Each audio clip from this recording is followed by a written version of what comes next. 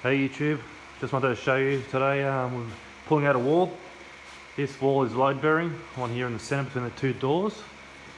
So up here you'll see a steel I-beam, you can see it, it's right there. And that is holding up the entire ceiling. And also this one over here, you can see better there. Uh, so basically this wall here is completely load bearing. So what I've done is we've exposed the brick so we can see what's going on. What we'll do, we'll put a post right here. And then we're going to put a beam across, another post there.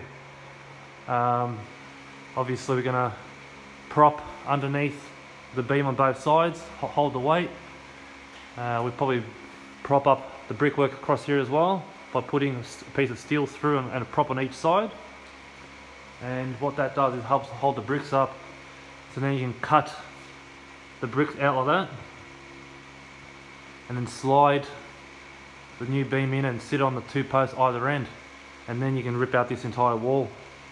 Um, yeah, it's pretty full on. I don't recommend this if you're a DIY guy. Uh, definitely get the engineers involved.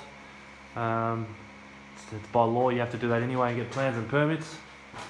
So definitely don't attempt this unless you've got the, the authority to do it and, and definitely the know-how. Otherwise that beam comes down. This is a double story by the way.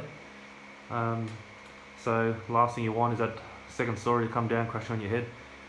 Uh, that won't be pretty at all. So yeah, just a quick one today, but I thought I'd show you day of the life of a builder and um, hope you enjoyed the video. If you haven't already subscribed, please subscribe. I'm going to be making videos every week from now on. So there'll be plenty to learn hopefully and um, and we'll see you next time.